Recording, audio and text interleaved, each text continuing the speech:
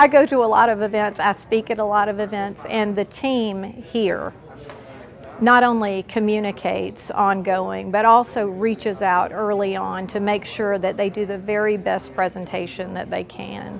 It's so important, so well done, so tightly executed, just a lot of value.